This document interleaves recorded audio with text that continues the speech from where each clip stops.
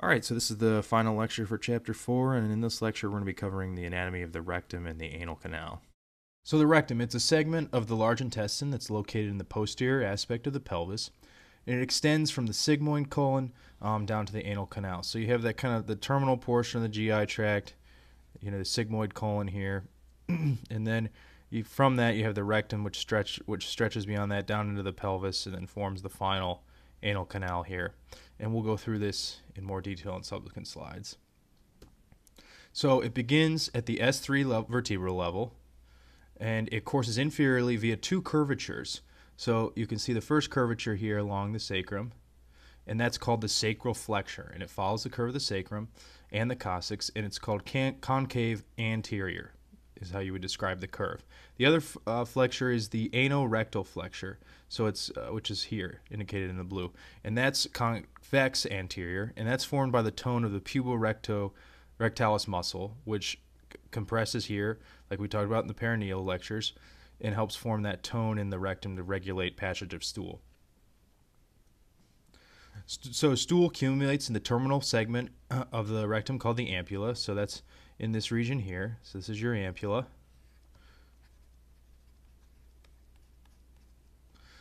And another thing I should point out here is the peritoneum covers the anterior superior two thirds.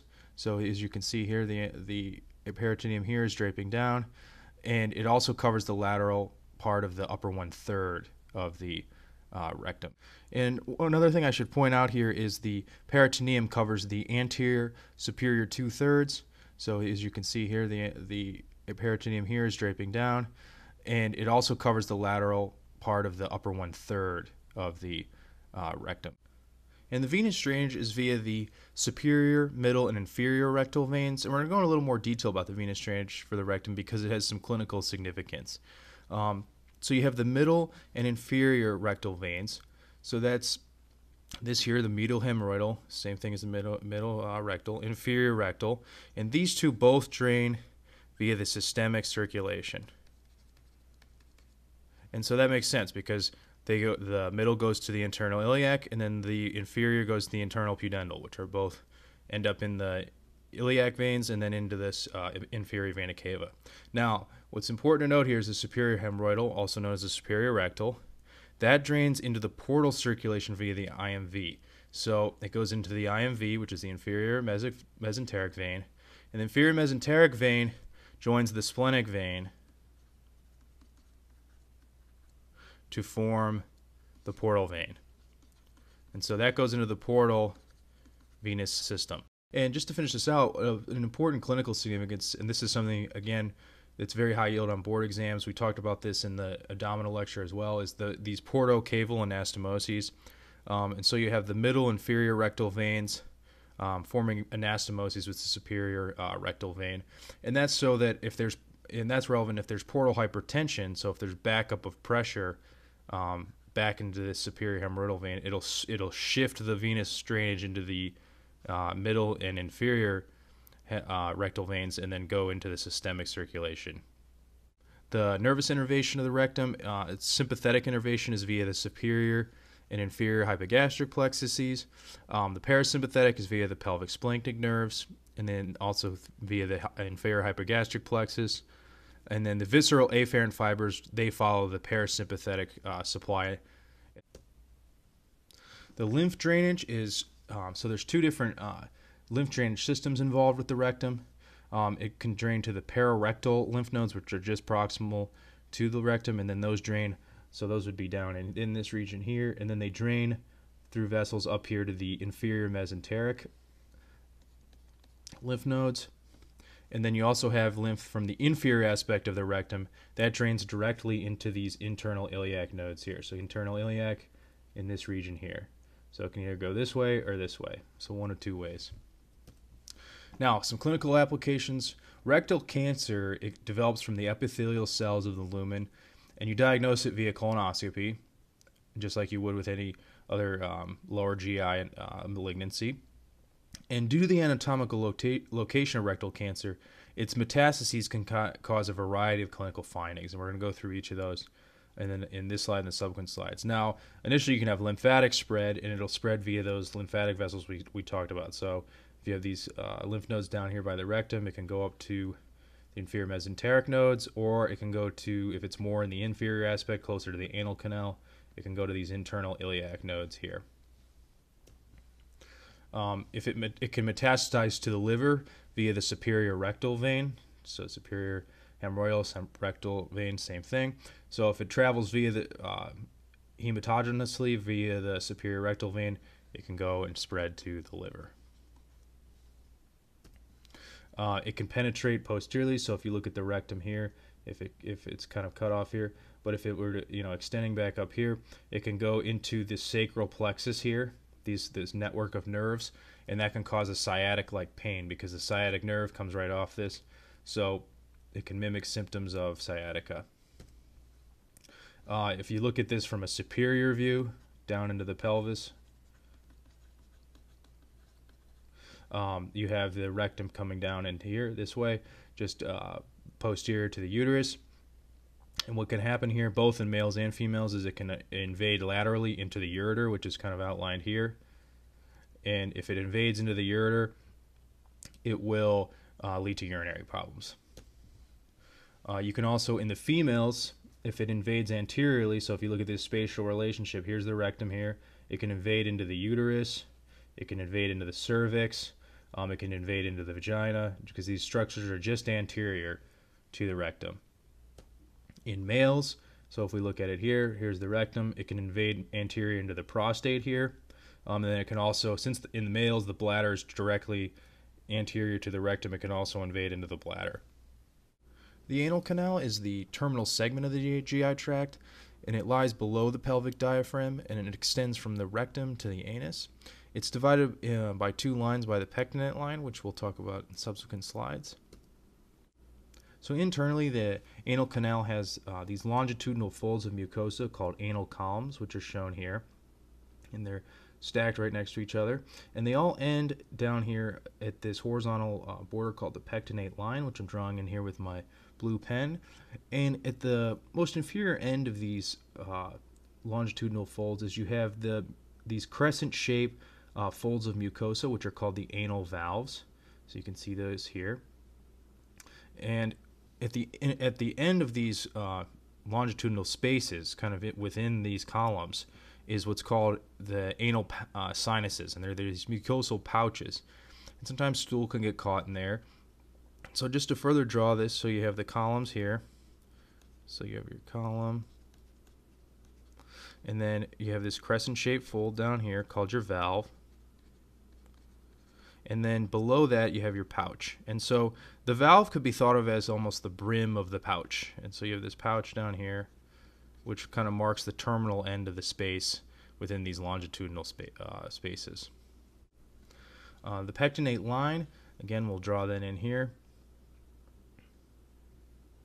and it kind of mark it's it's an area um, that's kind of formed during development, and it's an area of the anal canal where um, above and below have separate embryological origins, and which come fused together during uh, development to form the entire anal canal. So, and this is very significant for a number of uh, different anatomical characteristics and even clinically. So, um, and we'll have we have this nice table here that kind of goes through those different characteristics. So we have above the pectinate line, below the pectinate line, and so we'll draw it in here. And so if we go above the line, the embryological origin is the um, is the hind gut. And then if we go the below the line here, that's the ectoderm, and specifically the ectoderm of the proctodeum. So two different embryological origins. Uh, if you go by uh, histol histology of the mucosa, so again, we draw our pectinate line here. The epithelium up here, we kind of have this simple uh, columnar epithelium, just like the rest of the GI tract. Um, below the pectinate line, we have this. It's kind of as you get closer to the uh, anal orifice here uh, near the skin, you start to have this more uh, non-keratinized squamous epithelium. So you have um, the stra- squ- squamous epithelium like this, non-keratinized. If you get with the blood supply, again, we draw our line in here. you have your uh, superior rectal, which does above the pe- uh, pectinate line, and then below the pectinate line is actually the inferior rectal.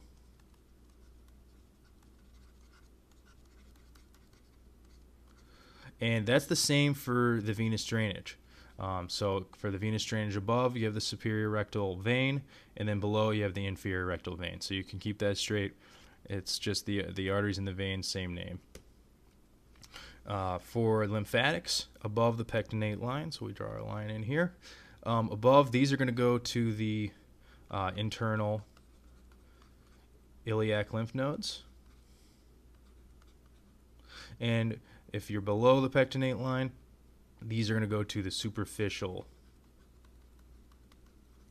uh, inguinal lymph nodes, so more in the groin area. And this is important clinically because if you have a cancer in the anal region, if it's above the pectinate line, if it metastasizes lymphatically, it's going to go, you're going to find the met in the internal iliac lymph nodes. If it's below the pectinate line, it's going to metastasize to the superficial inguinal lymph nodes. So if on a test question they indicate, oh, it's an anal cancer, it was found distal, or it was found uh, beyond the, the pectinate line, then and they ask where it spreads, then you would say internal iliac lymph nodes. So nervous innervation, again, we draw a line in here, and this is uh, very important clinically. So above, so above the pectinate line, you have ANS, so visceral um, pain fibers and those go to your inferior hypogastric plexus. Um, below, you have somatic innervation, and that's uh, via the pudendal nerve. And this is important because somatic is more, uh, the pain's more low, uh, specific. Um, hemorrhoids and other lesions in this area are much more painful than if they're above the pectinate line. Um, and we'll talk about hemorrhoids a little bit more in subsequent slides.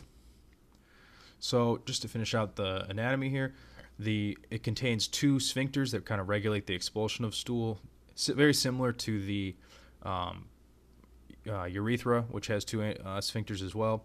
So you have the internal sphincter and then the external sphincter.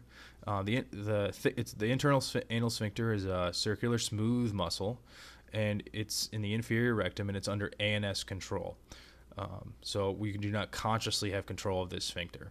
The external anal sphincter is a skeletal muscle and it encircles the lower two thirds. It actually blends with that puborectalis muscle uh, in the perineum, and under and it's under somatic control. So this is the one where if you have the urge to have a bowel movement, you can kind of uh, consciously control when uh, is the appropriate time to use the bathroom by, by uh, controlling this external anal sphincter. Uh, some clinical applications. So, everybody's favorite exam, the digital rectal exam. It's clinically useful because, really, because the rectum has is in, has uh, so many significant spatial relationships to uh, several pelvic structures, both in males and females. Um, it's even though everyone thinks of it using used for prostate cancer in males, it's also used in females as well. Um, and if you look in males, it's used because you have the prostate right here, which is just anterior to the rectum. So if an examiner can palpate in this area here, um, if there's a tumor here, and typically pro- prostate cancer tum- cancerous tumors will develop in the posterior lobes of the prostate and kind of extend in, and so the prostate instead of feeling uh, soft, the examiner will notice that it's there's a lesion in there and it's um, has more of a hard uh, texture to it and that's more alarming for a cancer than if they were just palpating and it's a soft uh, prostate. BPH, benign prostatic hyperplasia, which is a benign condition, that more uh, develops in the center of the prostate around the urethra. We'll talk more about those conditions in more detail in the male reproductive lectures. In females, so if you look here, this is where the rectum is. If you notice, uh, same thing, what the structures that are anterior in the female is the cervix here. So it can help for uh, uh, palpating lesions in the cervix. Also, uh, the lower part of the uterus is here. And then you can also palpate the pouch of Douglas, which is this region down here, formed by this fold of peritoneum. And that can be useful because often endometri- endometriosis can develop in there. Um, you can also have cancerous lesions in there. So it's important to also palpate that area in the female. You can also, and then you can also use the digital rectal exam to examine for hemorrhoids as well.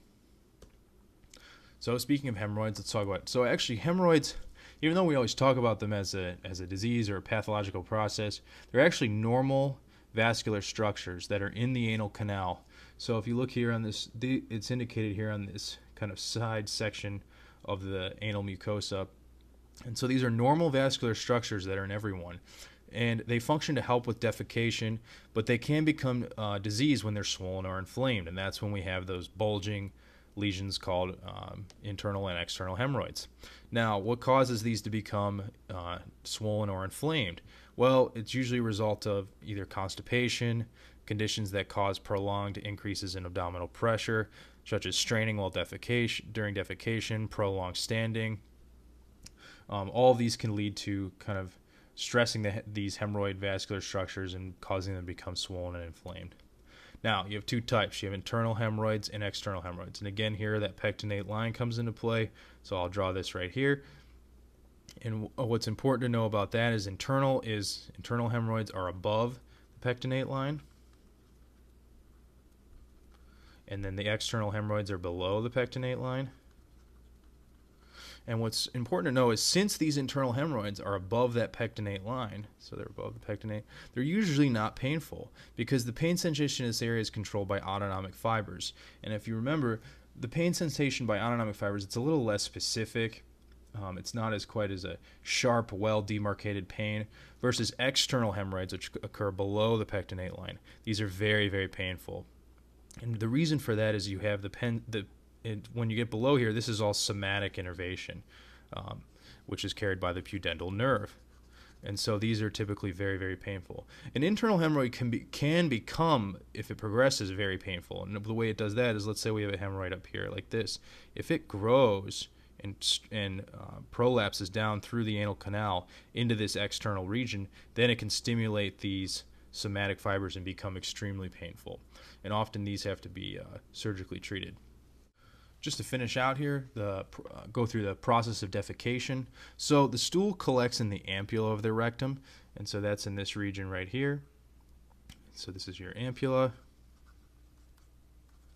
And so what happens here is it is the ampulla is able to accommodate stool over time, but it, and so it causes distension, and the distension is kind of sensed by visceral afferents, and when it reaches a point, um, it becomes you know a, fullness the autonomic uh, nervous system senses that. And what happens when it's time defecate, for defecation to occur is the puborectalis muscle, it relaxes and it kind of decreases that angle between the ampulla of the rectum and the anal canal. So if you if I draw a line here, that's through the anal canal here. And then you have the other angle here through the ampulla. So what happens is is you have a more straightening of this area so that it allows stool to very easily pass through and making a straight exit way. And what happens is the parasympathetic efferent fibers in the pelvic splanchnic nerves, they stimulate a peristalsis to occur in the rectum and anal canal area. And then also the internal anal sphincter relaxes. That allows stool to move even uh, move for, more forward. And then intra-abdominal pressure, so in this abdominal area, that helps kind of press down and gives it like an extra push. And then finally, when the external sphincter relaxes, the stool is able to pass out. And that concludes our discussion of the rectum and the anal canal.